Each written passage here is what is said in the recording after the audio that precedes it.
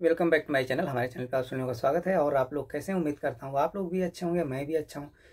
तो आप लोग कैलिब्रेशन से पहले जो स्टेप है उसको क्या फॉलो करते हैं? तो फॉलो करना चाहिए। जो कैलिब्रेशन से पहले जो हमें क्या क्या करना चाहिए, ऐसा नहीं कि हम डायरेक्टली कैलिब्रेशन कर लें। हाँ लेकिन जब सब कुछ प्रॉपर चल रहा है, थोड़े बहुत प्रॉब्लम्स आ रहे हैं, जो प्लांट रनिंग कंडीशन में है, वहाँ पे आप डायरेक्टली कैलिब्रेशन कर सकते हैं। जैसे मान लीजिए कि आपका रनिंग में चल रहा है, थोड़ा बहुत डिफरेंस आ रहा है तो आप कैलिब्रेशन कर सकते हैं, लेकिन जो ये स्टेप है, आप उसे यदि फॉलो करके, चेक करके, कैलिब्रेशन करेंगे तो कैलिब्रेशन थोड़ा और एग्जैक्ट होगा।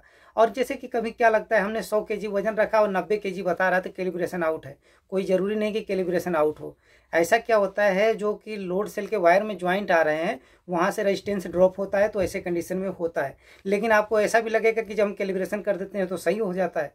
बिल्कुल सही हो जाएगा। जैसे मान लीजिए रजिस्टेंस ड्रॉप हो रहा है एक तरह से लोड सेल को जो मॉड्यूल होता है उसके माइंड को सेट करना है कि हमने ये जो रजिस्टेंस आपको सौ के रख के जो रजिस्टेंस आउटपुट हुआ तो उसको बता देना है कि ये जो रजिस्टेंस हमने आपको एक तरह से मॉड्यूल के पास जो जा रहा है उसको सेट कर देना है कि जो रजिस्टेंस हमने दिया है ये हंड्रेड के का है। एक तरह से लोड सेल को बता दें मॉड्यूल को बता दिया जाता है कि हमने सौ के रखा है आप इसको सौ के का रजिस्टेंस समझिए। मान लीजिए पॉइंट वन रजिस्टेंस आ रहा है सौ के पे।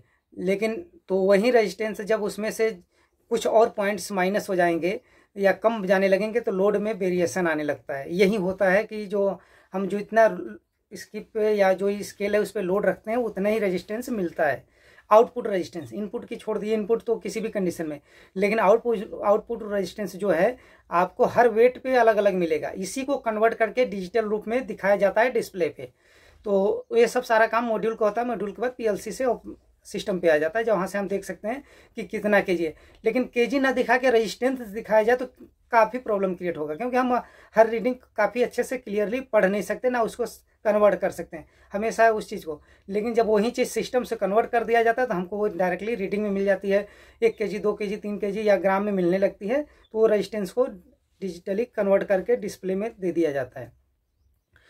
तो जब यदि कैलिब्रेशन हमें करना है तो क्या करना है? सबसे पहले सबसे पहले हमें एक काम करना होता है कि वो लोड सेल की जो वायर है, उसको चेक कर लें। दूसरी चीज़, हमें एक काम करना है कि लोड सेल को पहले चेक कर लेना है, सही है कि नहीं? लोड सेल को कैसे चेक करें? मल्टीमीटर से भी कर सकते हैं।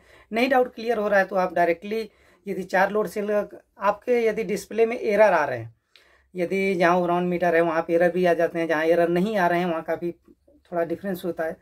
तो लेकिन जो आपको लोड सेल कनेक्ट करेंगे, जो प्रॉब्लम आ रही है यदि लोड सेल रिमूव करने के बाद प्रॉब्लम सही है तो किसी न किसी लोड सेल में प्रॉब्लम है, क्योंकि कैलिब्रेशन आउट कर दे रहा है, क्योंकि कैलिब्रेशन क्लियर आ नहीं रहा है। तो ऐसे कंडीशन में क्या करना है, एक लोड सेल को कनेक्ट करना है। यदि आपके पास चेक करने के लिए मल्टीमीटर नहीं है तब यदि चार लगे हैं, दो लगे हैं, एक को हटा दीजिए एक एक को चेक कीजिए। यदि सही हो रहा है, जो सही है, वो तो सही बताएगा, जो लगाने से डिफरेंस हो रहा है, या जो रीडिंग आ रही है, गलत आ रही है कैलिब्रेशन सही नहीं हो रहा है तो वो लोड सेल खराब है। लोड सेल शॉर्ट हो जाता है कभी हंड्रेड परसेंट डेड रेजिस्टेंस बेकार हो गया लोड सेल खराब हो गया, हंड्रेड परसेंट डेड हो गया तो ऐसे में कुछ नहीं बताएगा।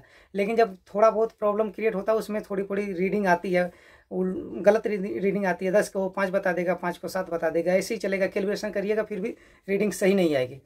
तो ऐसे कंडीशन में जो प्रॉब्लम होती है लोड सेल में भी हो सकती है। वायर में ज्वाइंट्स हैं, उसको चेक कीजिए जंक्शन बॉक्स में ज्वाइंट है कहीं से रेजिस्टेंस ड्रॉप नहीं होना चाहिए। जो आउटपुट रेजिस्टेंस है, वो पीएलसी के पास एग्जैक्ट आनी चाहिए। या तो आप जो उस पर वेट रखे हैं, मान लीजिए इनपुट करंट जा रहा है लोड सेल को, जाने दीजिए, जो आउटपुट लोड सेल का जो फ़र्स्ट ज्वाइंट है, वहाँ पे जो आउटपुट करंट मिल रहा है, वो मॉड्यूल के पास मिल रहा है, तब तो सही है।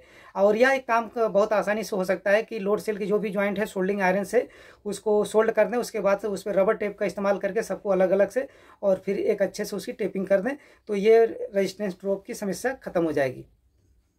इस प्रकार से, और जो भी स्केल का हम कैलिब्रेशन करें, उसमें वेट नहीं होना चाहिए। के जी दो के जी का मतलब तो कोई बात नहीं है, लेकिन बहुत ज़्यादा उसमें वेट नहीं होना चाहिए, क्योंकि रेजिस्टेंस में आगे प्रॉब्लम आएगा, फिर उसकी वजह से जो वैल्यू है रीडिंग है वेट में डिफरेंस आएगा। इसी प्रकार से सभी का आए, चाहे जिसका हम कैलिब्रेशन करें। तो ये जो स्टेप हैं, जिसका हमको कैलिब्रेशन करना है, वो स्केलिंग पट्टी होना चाहिए, वो लोड सेल सही होने चाहिए और दूसरी चीज़, उसकी केबल की जो ज्वाइंट है, जंक्शन बॉक्स से जाता है, वहाँ से सही होना चाहिए। जो लोड सेल में वोल्टेज आ रहा है, जो उसके आउटपुट रेजिस्टेंस है, वो सही से मॉड्यूल के पास पहुँचने चाहिए। तो इस तरह से जो भी लोड सेल में कैलिब्रेशन करने से बिफोर जो भी प्रॉब्लम है, उसको चेक कर लें और उसके बाद लोड सेल का कैलिब्रेशन करें या बैचिंग प्लांट का कैलिब्रेशन कर लें।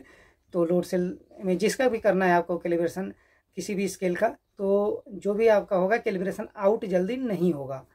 तो जो जंक्शन बॉक्स होता है कभी कभी क्या होता है कैप सही नहीं होती मॉइस्चर की वजह से तो प्रॉब्लम क्रिएट्स होने लगते हैं। तो इस स्टेप को फॉलो करने के बाद जो आप इसके हिसाब से आप यदि कैलिब्रेशन करते हैं तो शायद आपका प्रॉब्लम कम हो। और इस प्रकार से हम करते हैं तो हमारे यहाँ प्रॉब्लम्स काफ़ी कैलिब्रेशन की नहीं आती है। साइड टू साइड ट्रांसफ़र भी होता है, लेकिन अभी तक ऐसा नहीं। लेकिन बहुत जगह केसेस आ जाते हैं कि कैलिब्रेशन डिफरेंस होता है, क्योंकि सबसे पहले तो जो भी आप प्लांट लगा रहे हैं तो अर्थ और कंप्लीट कीजिए, उसके बाद प्लांट चलाइए। नहीं तो ये प्रॉब्लम्स क्रिएट होता है जो कैलिब्रेशन आउट हो जाए या और कई सारी कम्युनिकेशन प्रॉब्लम्स क्रिएट होते हैं। तो अर्थिंग फ़र्स्ट होना चाहिए, उसके बाद पैनल चलाइए और साथ के साथ जनरेटर का भी अर्थ होना चाहिए। तो जनरेटर का अर्थ ना हो, उसकी वजह से क्या प्रॉब्लम हो सकता है, उसके लिए भी ऑलरेडी वीडियो बना रखा हूँ, आपने नहीं देखा तो देख लीजिए मिलते हैं नेक्स्ट वीडियो में नेक्स्ट टॉपिक के साथ, धन्यवाद।